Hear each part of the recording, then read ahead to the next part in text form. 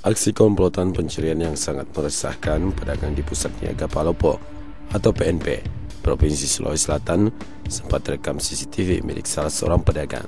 Dalam rekaman CCTV tersebut, pelaku pencurian menyatroni stand penjual jam tangan di PNP pada Sabtu 28 Agustus 2016 dini hari lalu. Tiga pencuri itu menutup wajah mereka menggunakan jaket warna hitam. Mereka hanya menggunakan celana pendek jenis boxer.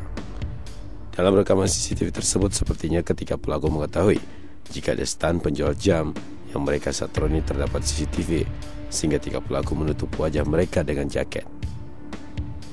Sangat jelas dalam rekaman CCTV bagaimana tiga pelaku menggeledah tempat penjualan jam tangan pedagang.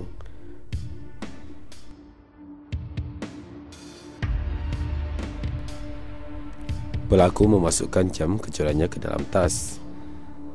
Rekaman CCTV yang berisi aksi pencurian tersebut mengungkap kasus pencurian di PNP.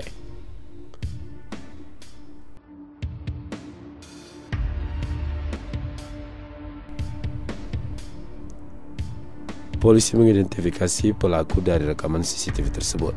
Salah seorang dari tiga pelaku yang terekam dalam CCTV tersebut telah diamankan polisi di rumahnya di Jalan Belimbing, Palopo. Rumah pelaku berinisial ASW ini hanya berjarak sekitar 300 meter dari PNP. Ternyata ASW yang diamankan polisi dari Polres Palopo ini masih anak di bawah umur karena usianya masih 15 tahun. Kasat Reskrim Polres Palopo AKP Awaludin mengatakan pelaku lainnya sudah teridentifikasi dan masih dalam pengejaran polisi.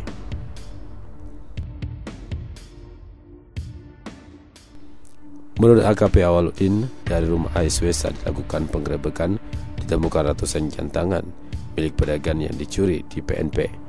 Jam tangan tersebut masih utuh dalam tas.